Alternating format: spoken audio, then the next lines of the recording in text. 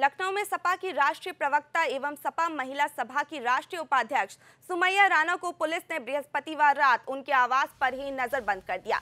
CAA लागू होने के विरोध में धरना प्रदर्शन की आशंका के मद्देनजर यह कदम उठाया गया। हालाँकि पुलिस का कहना था कि यह निगरानी भर है। उधर सुमैया ने आरोप लगाया है कि यह व्यवहार पूरी तरह गलत है। वे सीए का हमेशा विरोध करती रहेंगी और इस बार और बड़ा आंदोलन किया जाएगा।